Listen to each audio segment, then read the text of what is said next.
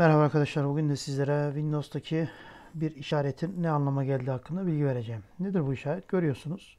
Örneğin bir klasörümüz var ve üzerinde yeşil bir tik işareti var. İşte bazılarında mavi dönen simge halinde olabiliyor. İşte görüyorsunuz bir yeşil tik. Bütün masaüstü klasörlerin üzerinde yeşil tikleri görebilirsiniz. Örneğin hepsinde yok tabii ki bu. Bazı dosya ve klasörlerin üzerinde bu yeşil tiki görebiliyoruz. Örneğin yeni bir klasör oluşturduğumda oluşturulmaz, oluşturmaz. Yani hemen önce maviye sonra yeşil tike dönüyor bu. Peki nedir bu? Arkadaşlar bu sizin e, Microsoft'un şu görmüş olduğunuz Microsoft OneDrive dediğimiz bulut sistemine kayıt olduğunuzu ifade ediyor. Bulut sisteminizde masa üstünüzü senkronize, otomatik senkronize veya belgelerde de bir dosya olabilir bu. Bunları otomatik senkronizeye açtığınız için otomatik olarak buraya oluşturduğunuz her dosya, kopyalayıp yapıştırdığınız her dosya bu simgeye bürünüyordur. Bunun anlamı da bu dosyanın serverda da bulutta da kopyalandığını ifade ediyor. Bakın burada ne yazmış?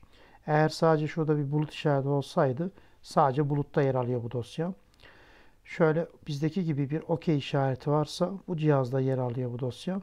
Eğer ki hem yeşil daire içinde bir OK, beyaz OK işaret olmuş olsaydı bu dosyanın hem bilgisayarda hem de bulutta yer aldığını ifade ediyor olmuş olacaktı.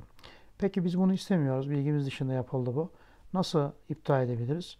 Bakın bu sağ alt köşede Microsoft OneDrive'ın bir simgesi olacak. Bize bunu kapatınca ortaya çıkacak o. Şöyle baktığımda bir Microsoft OneDrive simgesi var mı önümüzde? Yok. Şöyle hemen aramaya OneDrive diye yazdığımda Microsoft OneDrive bilgisayarından açtığımda karşıma simgesini bakın şu bulut simgesi var. Göremedim sanırım az önce. Şu bizim bulut simgemiz. Hemen şu beyaz bulut simgesi. Hemen üzerine geldiniz. Yardım ve ayar dediğiniz şuradaki yardım ve ayarlara tıkladığınızda ayarlar yazan yere tıklıyoruz. Bakın şurada ikinci sekmede hesap yazıyor.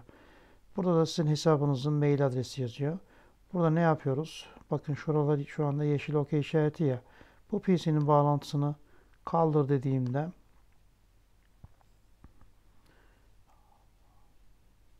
Evet anında görmüş olduğunuz gibi yeşil yuvarlak içerisindeki OK işaretleri gitmiş oluyor.